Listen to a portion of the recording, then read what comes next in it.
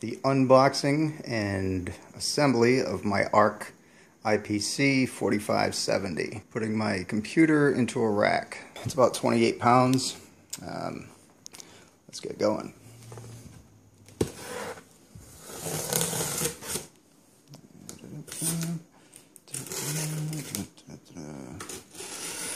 Really not in the mood to do this today, but eh, what can you do?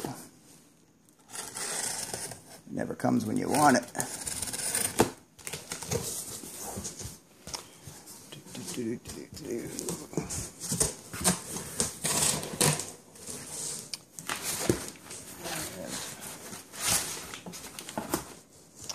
And there it is. Let me grab that out of there. And there it is. Nothing left in the box, just this. I haven't opened it yet, but let's take a look at this. This is solid steel.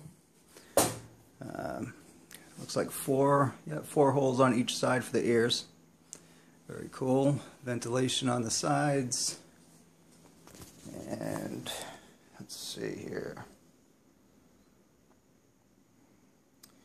That's cool. It's got holes so I can put a rail on there because I'll most likely want a rail because the weight of this thing once I'm done with it. But no plans to mount this today. Just got my computer, put that in here and call it a day. Take a look inside. Two fans in the front, and I have three five and a quarter bays and one three and a half bay. Two front side USB ports. Cool, cool. Activity lights and so forth. Nice. Let's get it open.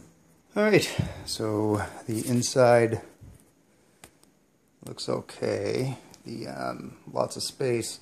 Out of all the racks, this is the one that had the most space in it that I could find without exceeding 20 inch depth.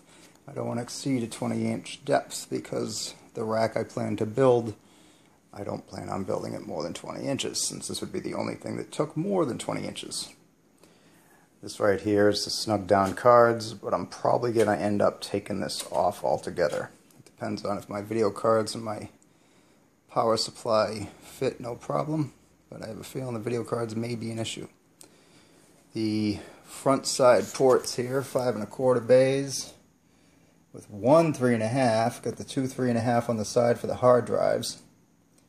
Not too happy about that because I kind of like to have more. As far as what it came with is the top panel. Came with uh, keys, some screws, standoffs, what you would expect. Little pamphlet manual, whatever. This computer here and all the guts inside of it. With the exception of that top Sound Blaster card. Crap never works. I hate creative. Take all that and put it in the case. Let's see how it goes. Quick point of interest, or note, is uh, before you make such a decision or decide to do something like this, go ahead and invest in a couple cans of the compressed air because you're going to want to spray it out because as you can see, and I keep my computer pretty clean, it gets pretty nasty pretty fast, especially if you had or have pets. The bag that it comes with makes a nice little shield, put it inside and spray the crap out of it, or take it outside, or do it over your spouse's pillow. And on that note, you might want to, while you're cleaning things up and while you have things outside of the case, you might want to rip off your heat sink and fan and go ahead clean up your processor and apply some more um, heating goop, your tin of choice.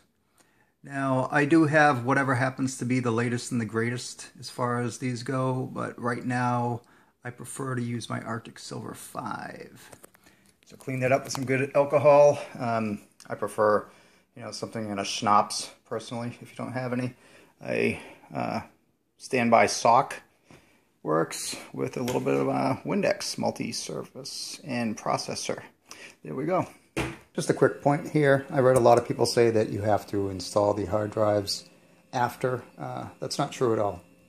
Yeah, it might make it easier to play with your wires and stuff like that, but the, the um, actual hard drive chassis is easy enough to remove.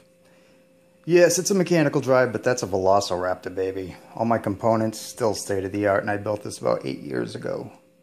Okay, the power supply is relatively new. Everything's all together. 24 gig RAM, my overclocked i7 920 running at 55,000 gigahertz. Yeah, it's 3.8 actually. Uh, a lot of people had questions about the video card, whether or not the video card would fit. In the case, that seems to be our biggest thing. Uh, well, this takes motherboards up to 12 by 13. As you can see, I got a lot of space. And you can see I got a ton of space for the video card too. And this is a GTX 480. Let me grab my tape measure here.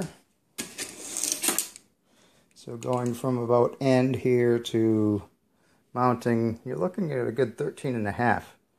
And um, not only that, but I mean, you want to move that, move it, rip it out. Do whatever you got to do. Now these two hard drives, of course, this bracket does mount into that. But get your Dremel out, snip, snip, you know, done. Call it a day. I have my uh, camera card reader USB's wired, all the lights and everything else are wired. The only thing I didn't wire was my LAN. Um, but it doesn't really matter to me. It'll work. that's what matters to me. Alright, that's about it. I'm to fire this up and I'll show you it turn on and then bye-bye. Alright, there it is, all done. Give you a quick uh, sound test or listen.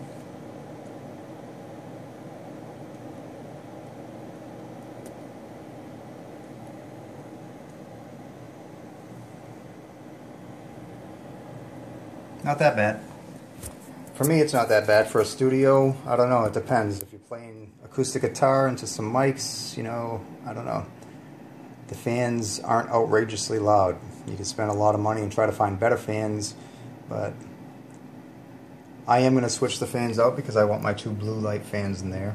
And uh, that's just me. I like my black and blue. What can I tell you? Grew up in a dangerous part of the neighborhood. All right. Bye-bye.